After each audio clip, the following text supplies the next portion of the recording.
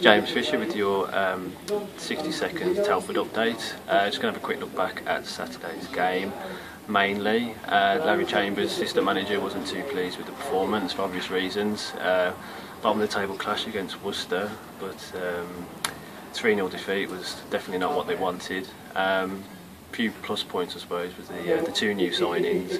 Liam Slade at the back didn't look too bad, and um, Sam Austin was easily Telford's most creative player on the on the day. Um, really good attacks down the flanks.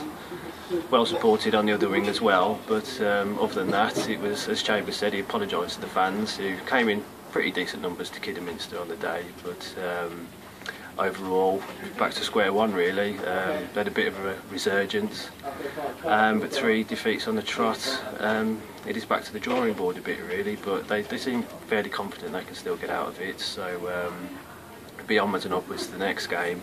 Still possibly looking to bring some more players in as well, especially in defence.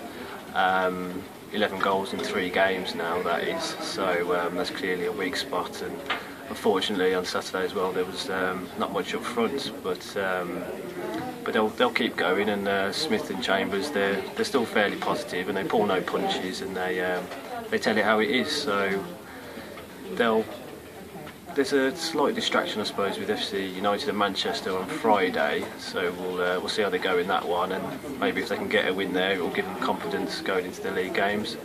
But um, if not then maybe cup distraction, possibly not the best when you're bottom of the league, but you just have to see how it goes really.